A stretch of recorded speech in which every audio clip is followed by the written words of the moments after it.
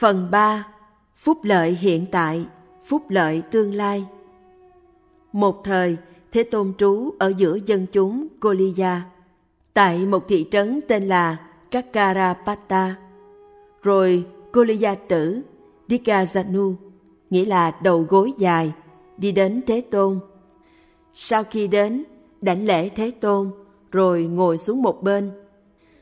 Ngồi xuống một bên, Goliya tử Dikazanu bạch Thế Tôn.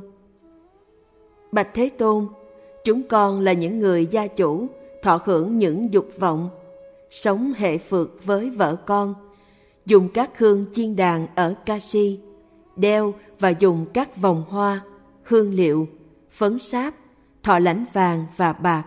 Bạch Thế Tôn, Thế Tôn hãy thuyết pháp cho những người như chúng con. Thuyết như thế nào để những pháp ấy đem đến cho chúng con hạnh phúc an lạc ngay trong hiện tại và hạnh phúc an lạc trong tương lai. Này Yagapasa, nghĩa là chân cọp. Có bốn pháp này đưa đến hạnh phúc hiện tại, an lạc hiện tại cho thiện nam tử. Thế nào là bốn? Đầy đủ sự tháo vát, đầy đủ phòng hộ, làm bạn với thiện, sống thăng bằng điều hòa. Thế nào là đầy đủ sự tháo vát? Ở đây, này Yagapasa, thiện nam tử làm bất cứ nghề gì để sống, nghề nông hoặc đi buôn, hoặc nuôi bò, hoặc làm người bắn cung, hoặc làm việc cho vua, hoặc nghề gì khác. Trong các nghề ấy, người ấy thiện xảo, không biết mệt, biết suy tư hiểu phương tiện vừa đủ để tự làm và điều khiển người khác làm. Đây gọi là đầy đủ sự tháo vát. Và thế nào là đầy đủ phòng hộ? Ở đây, này Yagapasa, những tài sản của thiện nam tử do tháo vát tinh tấn thu hoạch được, do sức mạnh bàn tay cất chứa được, do mồ hôi đổ ra đúng pháp, thu hoạch được đúng pháp, vì ấy giữ gìn chúng, phòng hộ và bảo vệ. Làm thế nào các tài sản này của ta không bị vua mang đi, không bị trộm cướp mang đi, không bị lửa đốt, không bị nước cuốn trôi, không bị các người con thừa tự không khả ái cướp đoạt. Đây gọi là đầy đủ sự phòng hộ. Và thế nào là làm bạn với thiện? Ở đây, này Yaga Pasa, thiện nam tử sống tại làng này hay tại thị trấn. Ở đấy có gia chủ hay con người gia chủ, những trẻ được nuôi lớn trong giới đức, hay những người lớn tuổi được lớn lên trong giới đức, đầy đủ lòng tin, đầy đủ giới đức, đầy đủ bố thí, đầy đủ trí tuệ. Vì ấy đến làm quen, nói chuyện, thảo luận. Với những người đầy đủ lòng tin, vì ấy học tập với đầy đủ lòng tin. Đối với người đầy đủ giới đức, người ấy học tập với đầy đủ giới đức. Với những người đầy đủ bố thí, vì ấy học tập với đầy đủ bố thí. Với những người đầy đủ trí tuệ, vì ấy học tập với đầy đủ trí tuệ. Đây gọi là làm bạn với thiện. Và thế nào là sống thăng bằng điều hòa? Ở đây, này Yagapasa, thiện nam tử sau khi biết tài sản nhập và sau khi biết tài sản xuất, sinh sống một cách điều hòa, không quá phung phí, không quá bỏng sẻn. Ví như người thợ kim hoàng cầm cân hay đệ tử người ấy cầm cân, sau khi cầm cân biết rằng với chừng ấy cân nặng xuống hay với chừng ấy cân bỗng lên. Nếu thiện nam tử này có tiền nhập vào ít nhưng sống nếp sống rộng rãi, hoang phí, thì người ta nói, người thiện nam tử này ăn tài sản của vị ấy như ăn trái cây sung. Nếu người thiện nam tử này có tiền nhập lớn, nhưng sống nếp sống cơ cực, thì người ta sẽ nói, người thiện nam tử này sẽ chết như người chết đói. Sau khi biết tài sản nhập và tài sản xuất, thiện nam tử sống không quá phung phí, không quá bỏng sẻn. Đây gọi là nếp sống thăng bằng điều hòa. Như vậy, có bốn cửa xuất để tiêu phí tài sản thâu nhập. Đam mê đàn bà, đam mê rượu chè, đam mê cờ bạc, thân cận với kẻ ác. Ví như một hồ nước lớn, có bốn cửa nước chảy vào, có bốn cửa nước chảy ra. Có người đóng lại các cửa nước chảy vào, mở ra các cửa nước chảy ra. Trời lại không mưa đúng lúc. Như vậy, hồ nước ấy sẽ bị giảm thiểu, không có tăng trưởng. Cũng vậy, có bốn cửa xuất để tiêu phí tài sản được thu nhập. Như vậy, có bốn cửa vào để tài sản được hưng khởi. Không say đắm đàn bà, không say đắm rượu chè, không say đắm cờ bạc, thân cận với người thiện. Ví như một hồ nước lớn có bốn cửa nước chảy vào, có bốn cửa nước chảy ra. Có người đóng lại các cửa nước chảy ra, mở ra các cửa nước chảy vào và trời lại mưa đúng lúc. Như vậy, hồ nước ấy sẽ tăng trưởng, không có giảm thiểu. Cũng vậy, có bốn cửa vào để tài sản được hưng khởi. Bốn pháp kể trên này Jaggapasa đưa đến hạnh phúc hiện tại, an lạc hiện tại cho các thiện nam tử. Có bốn pháp đưa đến hạnh phúc tương lai, an lạc tương lai cho thiện nam tử. Thế nào là bốn? Đầy đủ lòng tin, đầy đủ giới đức, đầy đủ bố thí, đầy đủ trí tuệ. Và thế nào là đầy đủ lòng tin? Ở đây, này Jaggapasa, thiện nam tử có lòng tin, tin tưởng ở sự giác ngộ của Như Lai. Đây là Thế Tôn, bậc A-la-hán, chánh đẳng giác, minh hạnh túc, thiện thệ, thế gian giải, vô thượng sĩ, điều ngự trượng phu, thiên nhân sư, Phật, Thế Tôn. Đây gọi là đầy đủ lòng tin. Và thế nào là đầy đủ giới đức? Ở đây, nề pasa thiện nam tử từ bỏ sát sinh, từ bỏ lấy của không cho, từ bỏ tà hạnh trong các dục, từ bỏ nói láo, từ bỏ đắm say rượu men, rượu nấu. Đây gọi là đầy đủ giới đức. Và thế nào là đầy đủ bố thí? Ở đây, này Jaggapasa, thiện nam tử sống ở gia đình với tâm không bị cấu uế, sang tham chi phối, bố thí rộng rãi, với bàn tay mở rộng, vui thích từ bỏ, sẵn sàng để được yêu cầu, vui thích chia sẻ Phật bố thí. Đây gọi là đầy đủ bố thí. Và thế nào là đầy đủ trí tuệ? Ở đây, này jagapasa thiện nam tử có trí tuệ để thấy được sự sinh diệt của mọi hiện tượng, có trí tuệ cao quý và thâm sâu đưa đến tận diệt khổ đau. Đây gọi là đầy đủ trí tuệ. Bốn pháp này, này jagapasa đưa đến hạnh phúc tương lai, an lạc tương lai. Kinh Tăng Chi Bộ, chương 8, bài kinh số 54. Phần 4. Chánh mạng Một nhỏ, tránh tà mạng.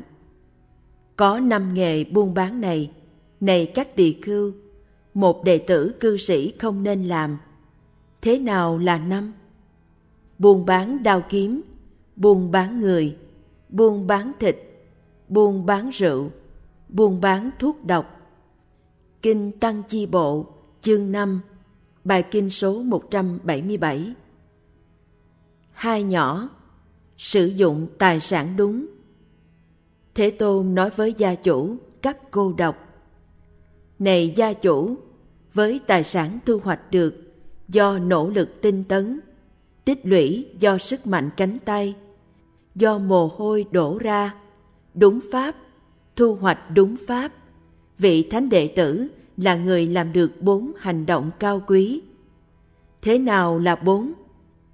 Ở đây, vị thánh đệ tử với tài sản thu hoạch được do nỗ lực tinh tấn, tích lũy được do sức mạnh cánh tay, do mồ hôi đổ ra đúng pháp, thu hoạch đúng pháp, tự làm mình an lạc hoan hỷ và chân chánh duy trì sự an lạc ấy, giúp cha mẹ được an lạc hoan hỷ và chân chánh duy trì sự an lạc ấy, giúp vợ con, người phục vụ, người làm công được an lạc hoan hỷ và chân chánh duy trì sự an lạc ấy. Giúp bạn bè thân hữu được an lạc hoan hỷ và chân chánh duy trì sự an lạc ấy. Đây là trường hợp thứ nhất, vị ấy đi đến được, đạt được sự hưởng thọ đúng phương xứ.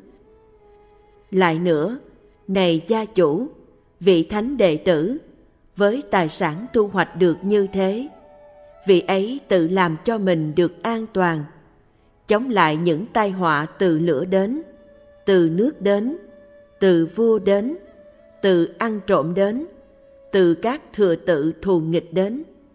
Đây là trường hợp thứ hai, vị ấy đi đến được, đạt được sự hưởng thọ đúng phương xứ.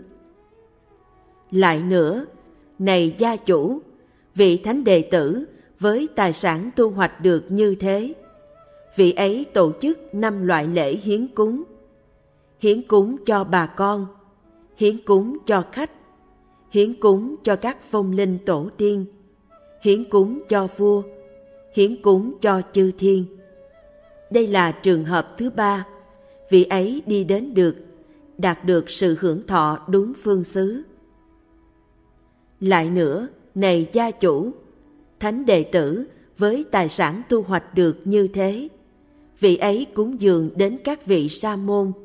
Bà la môn sống từ bỏ kiêu mạng, phóng dật, an trú trên nhẫn nhục, nhu hòa, an tịnh tự mình, nhiếp phục tự mình, làm lắng dịu tự mình, tiến đến niết bàn, sự cúng dường tối thượng, đem đến quả lạc dị thục, đưa đến thiên giới. Đây là trường hợp thứ tư, vị ấy đi đến được, đạt được sự hưởng thọ đúng phương xứ. Này gia chủ, đó là bốn hành động cao quý mà vị thánh đệ tử làm được với tài sản tu hoạch được do nỗ lực tinh tấn, tích lũy được do sức mạnh cánh tay, do mồ hôi đổ ra đúng pháp, thu hoạch đúng pháp. Nếu tài sản của ai được tiêu dùng không đúng với bốn hành động này, tài sản ấy được gọi là tài sản không đi đến lợi ích, không đi đến thành đạt, không đạt được sự hưởng thọ đúng phương xứ. Nếu tài sản của ai được tiêu dùng đúng với bốn hành động này, tài sản ấy được gọi là tài sản đi đến lợi ích, đi đến thành đạt, đạt được sự hưởng thọ đúng phương xứ. Kinh Tăng Chi Bộ, chương 4, bài kinh số 61 Ba nhỏ Hạnh phúc của gia chủ. Thế Tôn nói với gia chủ cấp cô độc Có bốn loại an lạc này. Này gia chủ Người tại gia thọ hưởng các dục thu hoạch được. Tùy thời gian, tùy thời cơ khởi lên cho vị ấy. Thế nào là bốn? Lạc vì được sở hữu. Lạc vì được tạo phước. Lạc vì không mắc nợ. Lạc vì không phạm tội. Và này gia chủ, thế nào là lạc sở hữu? Ở đây, tài sản của người thiện nam tử thu hoạch được do nỗ lực tinh tấn, tích lũy được do sức mạnh cánh tay, do mồ hôi đổ ra đúng pháp, thu hoạch đúng pháp. Vị ấy suy nghĩ, ta có tài sản, thu hoạch được do nỗ lực tinh tấn, tích lũy được, vân vân, thu hoạch đúng pháp Nghĩ vậy, vị ấy được lạc, được hỷ. Đây gọi là lạc vì được sở hữu. Và này gia chủ, thế nào là lạc tài sản? Ở đây, thiện nam tử thọ hưởng những tài sản tu hoạch được do nỗ lực tinh tấn, tích lũy được, vân vân, thu hoạch đúng pháp. Vị ấy hoan hỷ làm các việc phước đức. Vị ấy nghĩ rằng ta thọ hưởng những tài sản thu hoạch được do nỗ lực tinh tấn, vân vân, thu hoạch đúng pháp và ta làm các việc phước đức. Nghĩ vậy, vị ấy được lạc, được hỷ. Đây gọi là lạc vì được tạo phước.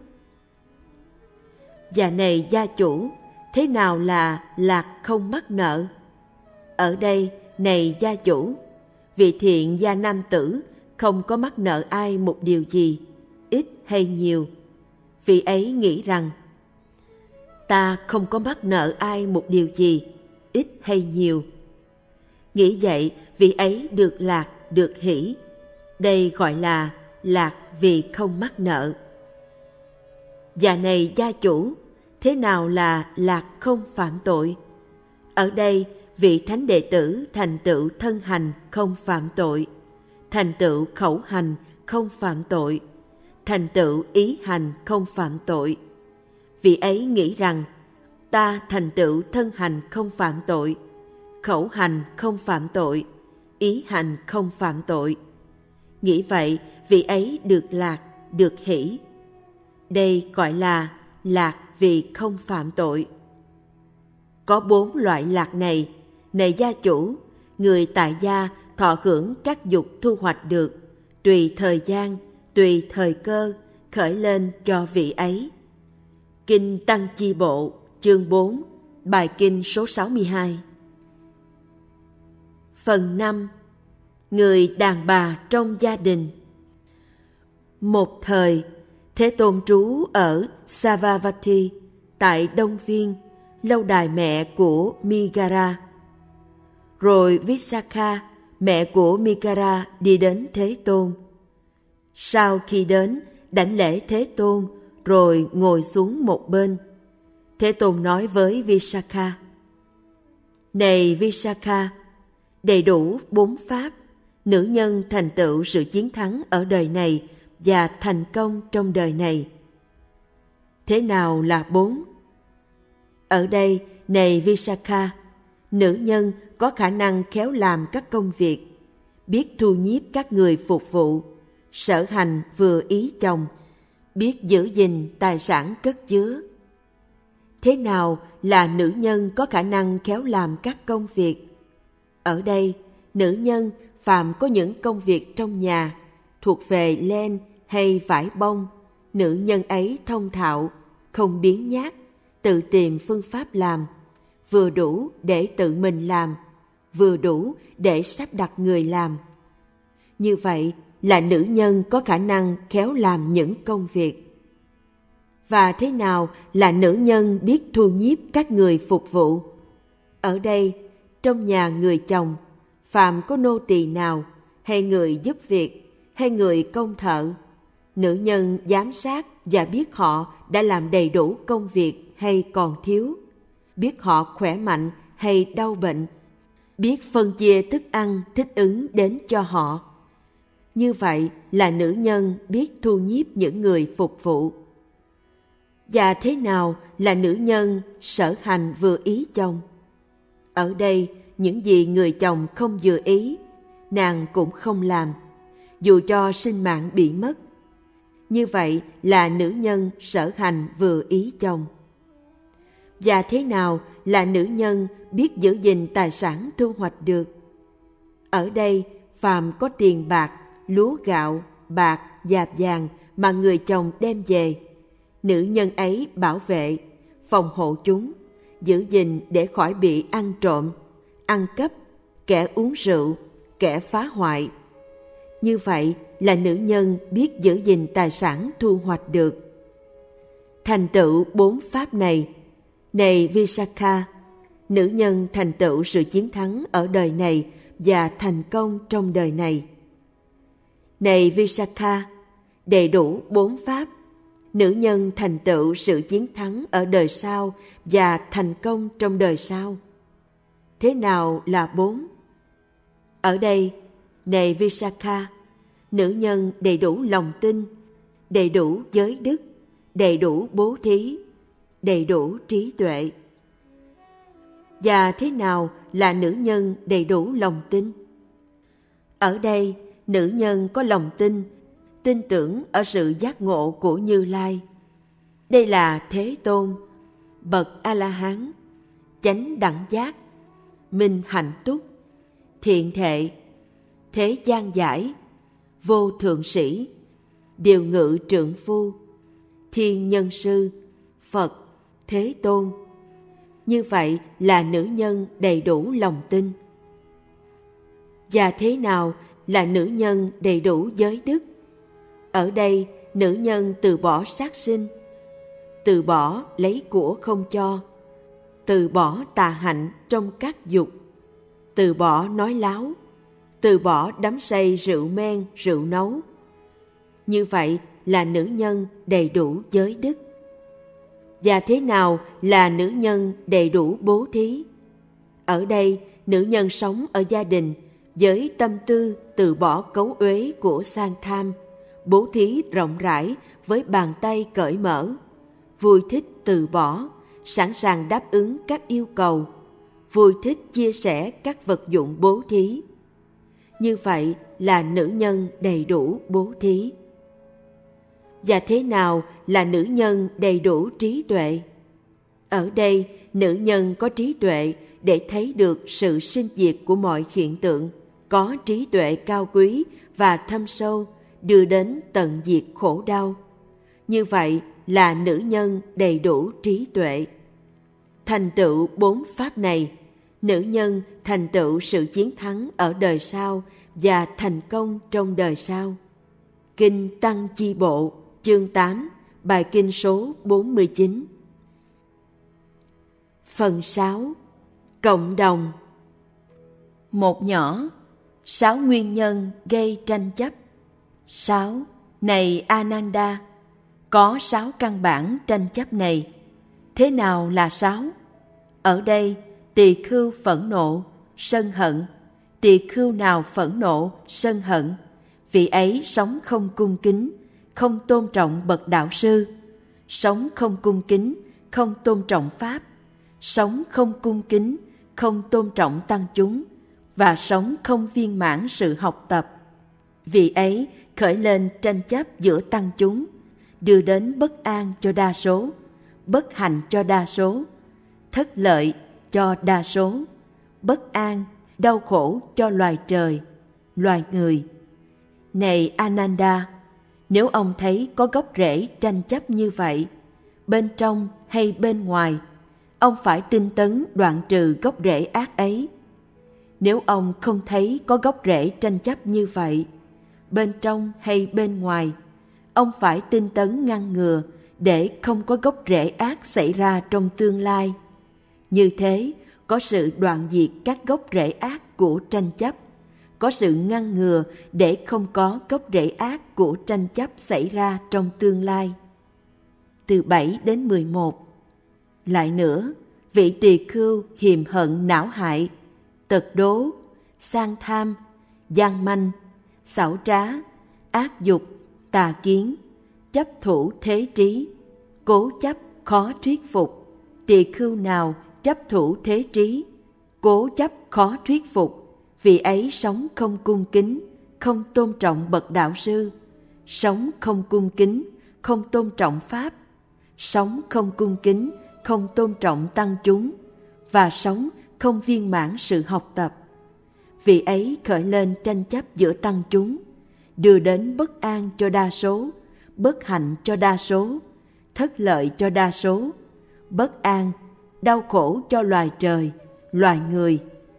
Này Ananda, nếu ông thấy có gốc rễ tranh chấp như vậy, bên trong hay bên ngoài, ông phải tinh tấn đoạn trừ gốc rễ ác ấy. Nếu ông không thấy có gốc rễ tranh chấp như vậy, bên trong hay bên ngoài, ông phải tinh tấn ngăn ngừa để không có gốc rễ ác xảy ra trong tương lai. Như thế, có sự đoạn diệt các gốc rễ ác của tranh chấp, có sự ngăn ngừa để không có gốc rễ ác của tranh chấp xảy ra trong tương lai. Đó là sáu căn bản tranh chấp. Trung Bộ Kinh, bài kinh số 104, Kinh làng Sama. Hai nhỏ, sáu nguyên tắc sống hòa hợp. 21. Này Ananda, có sáu khả niệm pháp này, tác thành khả ái, tác thành tôn kính, đưa đến đoàn tụ, không tranh luận, hòa hợp, đồng nhất. Thế nào là sáu?